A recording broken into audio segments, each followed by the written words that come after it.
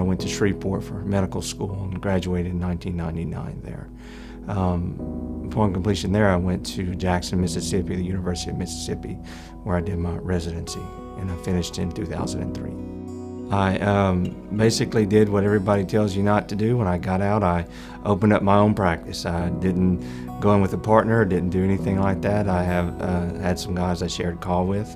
Um, but I just pretty much came out and started my own practice. Having a neonatal ICU was very um, important. Uh, we deliver a lot of babies, some high-risk babies, um, and we knew that the neonatal ICU was very, very good, and that was a very important part of my practice.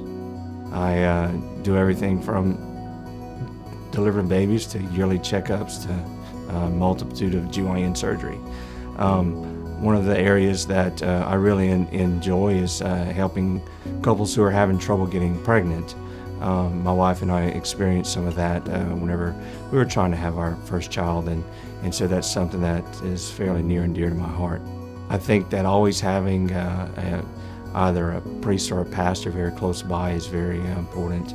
Um, I was raised Baptist, but um, I grew up with a lot of Catholic friends, and, and so the, the Catholic faith is one that I'm very, very familiar with over the years.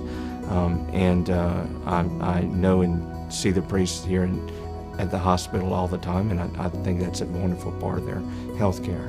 I don't think that many people can look at a new baby and not have a smile on their face, and so that's a very positive, happy part of uh, the practice.